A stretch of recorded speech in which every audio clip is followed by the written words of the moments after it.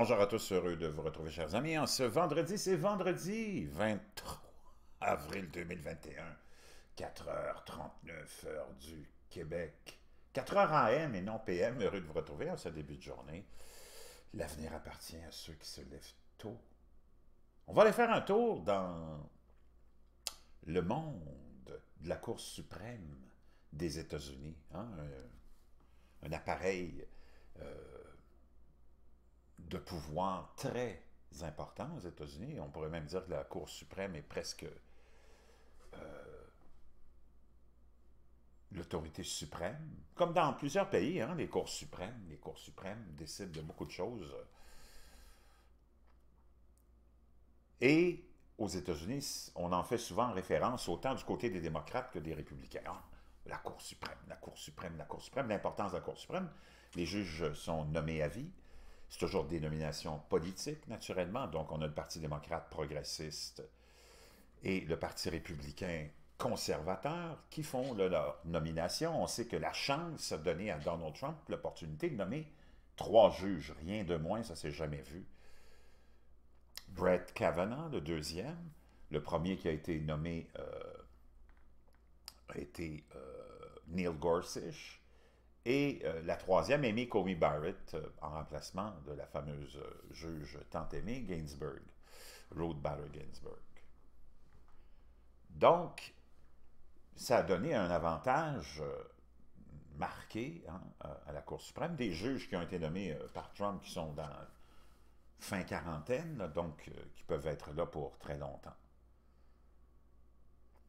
La Cour suprême rend des décisions finales tu ne peux pas aller plus haut que la Cour suprême. Quand la Cour suprême rend une décision qui a été prise par, euh, qui renverse des fois ou qui confirme des décisions qui ont été prises par des cours inférieures, hein, des cours locales, fédérales, d'appel, et là tu arrives à la Cour suprême, c'est final après.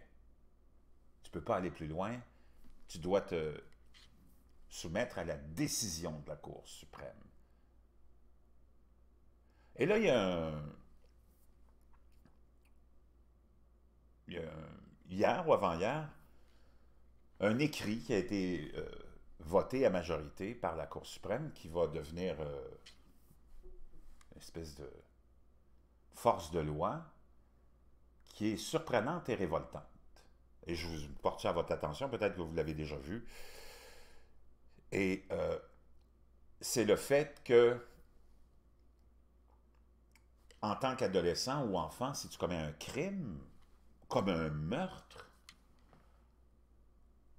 selon ce que vient d'écrire Brett Kavanaugh, le juge nommé par Donald Trump, qui, lors de sa comparution pour sa confirmation, hein, a donné lieu à tout un spectacle parce qu'on a ramené des histoires de son adolescence, du temps où il était au lycée. Quand on a ramené ces histoires-là, vous vous en rappelez, hein, euh, d'agression peut-être sur des femmes en les ayant euh, les ayant fait boire euh, et euh, les aurait abusé au moins une d'entre elles, Brett Kavanaugh, dans, son, dans sa défense, lors de sa comparution devant le Sénat pour sa confirmation, avait admis plusieurs de ses frasques en tant qu'adolescent et avait dit on ne peut pas juger un individu sur ce qu'il a commis dans son adolescence. Et c'est vrai, vous et moi, plus jeunes, on en a fait des mauvais coups. Qui n'a pas fait de mauvais coups? Moi, j'en ai fait plein, vous en avez fait plein. Il y en a qui font des plus gros mauvais coups, se retrouvent devant les tribunaux de la jeunesse et ont des conséquences. Mais tu es un enfant, tu es jeune, ça ne veut pas dire que tu vas être comme ça toute ta vie. Et c'est important qu'il y ait une espèce de compréhension hein, que quelqu'un peut se réformer, même adulte. C'est pas parce que tu commets un crime que tu ne pourras pas faire un examen de conscience et te reprendre et avoir une deuxième chance. Ce que vient d'écrire la Cour suprême est voté à majorité par une Cour suprême américaine majoritairement conservatrice, c'est que maintenant, parce qu'il y a un cas qui est arrivé devant euh, la Cour suprême, et c'est le cas d'un adolescent, on va aller voir l'histoire, qui nous a rapporté par plein, plein de sites médias, mais moi j'ai pris celui de Reuters parce que je l'aime bien, le 22 avril 2021. La Cour suprême des États-Unis, donc hier, rejette les limites des peines à perpétuité pour les mineurs. Jeudi, la Cour suprême des États-Unis a permis aux États-Unis, aux États, d'imposer des peines de prison à vie sans libération conditionnelle aux jeunes délinquants statuant contre un homme du Mississippi reconnu coupable du meurtre de son grand-père à l'âge de 15 ans dans une affaire mettant à l'épreuve l'interdiction du huitième amendement de la Constitution sur les actes cruels et inhabituels. les juges, dans une décision majoritaire de 6 contre 3, ont rejeté les arguments du détenu Brett Jones, selon lesquels sa condamnation à la prison à vie, sans possibilité de libération conditionnelle, violait le huitième amendement parce que le juge de son procès n'avait pas conclu séparément qu'il était définitivement incorrigible. Les six juges conservateurs de la Cour euh, suprême étaient majoritaires. Les trois membres libéraux, naturellement, étaient les décidants. Les trois juges qui restent à la Cour suprême parce qu'il y a neuf juges. Jones, maintenant âgé de 31 ans, a été reconnu coupable d'avoir poignardé mortellement son grand-père en 2004 dans, une, euh, dans un différend impliquant euh, la petite amie du garçon. La décision rédigée par le juge Brett Kavanaugh a marqué la fin de la récente série de décisions du tribunal qui limitait les peines à perpétuité sans libération conditionnelle. Pour les jeunes délinquants, le tribunal s'est déplacé vers la droite avec une majorité conservatrice 6-3 après l'ajout depuis 2017 de trois juges nommés par l'ancien président.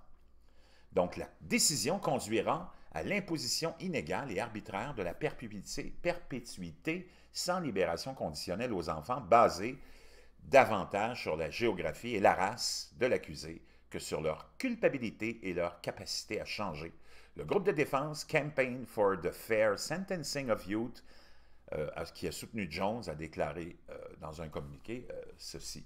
Donc, les peines à perpétuité pour mineurs sans possibilité de libération conditionnelle ont fait l'objet d'un examen minutieux ces dernières années dans le cadre d'un débat plus large sur la justice pénale et la réforme de la détermination de la peine aux États-Unis, sur les 50 États, 25 ont interdit de telles peines, le Maryland devenant le dernier à le faire plus tôt ce mois-ci. Kavanaugh a déclaré que la décision qu'il était de la, dans qu'il était de la responsabilité des États et non des tribunaux de rendre ses jugements moraux et politiques généraux sur la réforme de la condamnation des mineurs.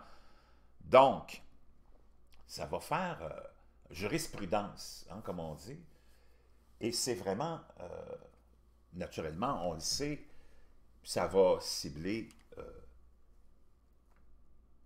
la population euh, afro-américaine. Et c'est elle qui va être le plus touchée par cette décision-là. Ça veut dire que selon ces juges conservateurs qui ont voté majoritairement euh, contre la, la, cause de ce jeune du Mississippi, ben, qui est plus jeune maintenant, viennent de décider que ce que tu commets comme acte quand tu es euh, enfant, et d'ailleurs, l'ancien juge décédé euh, conservateur euh, euh, Anthony Scalia, qui a été remplacé par Neil Gorsuch, qui, qui était un républicain conservateur, était complètement à l'opposé de ça et voulait plutôt une, avait plutôt une vision différente de, sur cette question-là. Donc, selon eux, si tu commets un geste quand tu es enfant ou adolescent, tu n'as aucune, aucune possibilité de réforme et aucune possibilité de demander une, euh, une révision ou une libération hein, conditionnelle. C'est complètement renversant, c'est complètement immoral. D'ailleurs, tous ces républicains qui, conservateurs qui se disent religieux et qui font toujours référence à Jésus ont oublié probablement la philosophie et la doctrine de Jésus, hein, qui était tout pardon. Donc on voit que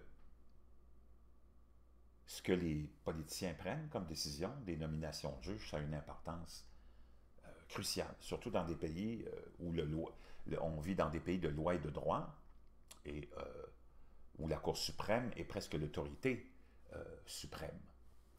Dans le cas des États-Unis, on sait, il y a une grande bataille entre les deux euh, factions, hein, conservatrices et euh, plutôt progressives. alors que la majorité du pays est plutôt progressive, on se retrouve avec une Cour suprême rétrograde et plutôt conservatrice qui n'a aucun, aucun bon sens, pas d'allure. Et surtout, ce jugement-là ou cette décision-là écrite par Brett Kavanaugh lui-même, qui invoquait lors de sa euh, comparution pour sa nomination qu'on ne peut pas baser nos opinions sur ce que j'ai fait quand j'étais adolescent. On ne peut pas me marquer au fer rouge toute ma vie pour ce que j'ai fait en tant qu'adolescent, vient d'écrire ça. C'est complètement hypocrite. C'est complètement immoral. Et je voulais porter ça à votre attention juste comme ça, parce que c'est vendredi, puis que c'est important de comprendre ce qui se passe, surtout avec les conservateurs, qui sont probablement à l'image des représentants de la religion catholique ou des autres dominations chrétiennes, les plus grands hypocrites avec lesquels on a à faire face au quotidien. Je vous reviens, plein d'autres choses. C'est une journée remplie aujourd'hui. Je ne sais pas pourquoi, mais c'est un vendredi vraiment plein de fruits. Je vous reviens.